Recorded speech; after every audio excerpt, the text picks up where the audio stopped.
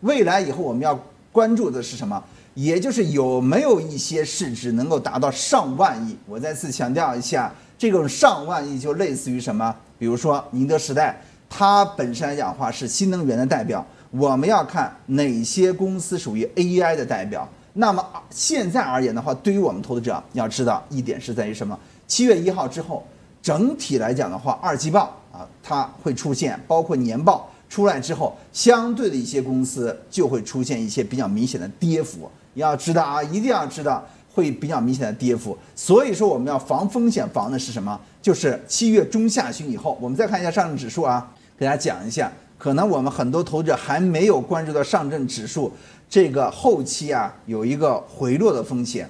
我们在前期强调的是什么？整体我们要关注这个位置啊，三千零八十点附近，也就是零点六幺八，什么意思呢？从这个位置的低点啊，二八八二点连续反弹。好回撤，如果是零点六幺八的话，那么往往是它的一个回撤的点。目前呢，其实没有到零点六幺八，但是从结构上我们要知道，还是刚才我们强调的是属于什么双重联合性调整了。也就是在七月份的时候，会不会形成一个逐渐的震荡下行，先小跌，然后再突然形成一个大跌？要知道，因为在历史上七月份，我们看一下啊，给大家讲一下。在二零二一年的时候，我们看到这个位置啊，这是在二零二一年的六月二号形成高点。我们看到它的一个调整，其实都是一个小调整，对吧？好像不调，但是有那么几天是一个快速下跌。我们发现没有？是一个疾风骤雨式的快速下跌，调了二十几个交易日。我跟大家讲一下，目前我们要紧盯的是什么？一定要仔细听一下。如果说在节后。形成的是一个反弹，如果突破了啊这个高点啊，也就是上周五的高点，接近于三千三百点，那么七月份可能整体它走出的什么？一个弱势的震荡下行，你觉得好像没事儿，对吧？整个来讲的话一点事儿没有，但是如果跌破了三幺六八点的话，可能会有出现什么？三到五天的急跌，那这个急跌就是市场底。一定要紧盯这个，我们在后期要盯的是什么？就是一个市场底什么出现。现在不是抓机会的时候，你要抓，你只能抓低位。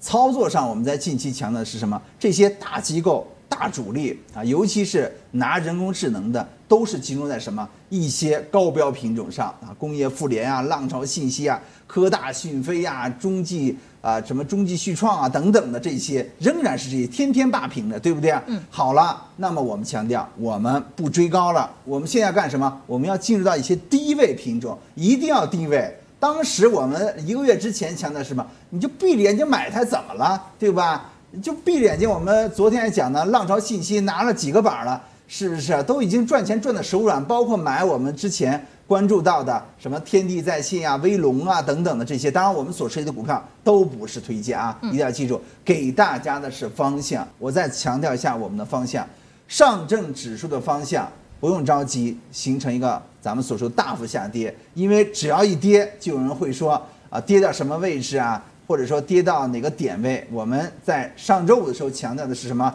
再给大家罗列一下。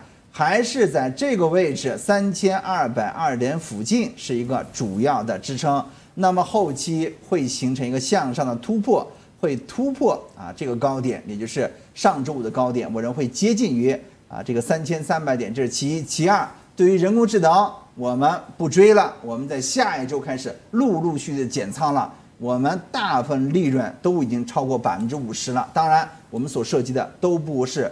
推荐啊，我们是属于什么？给大家方向，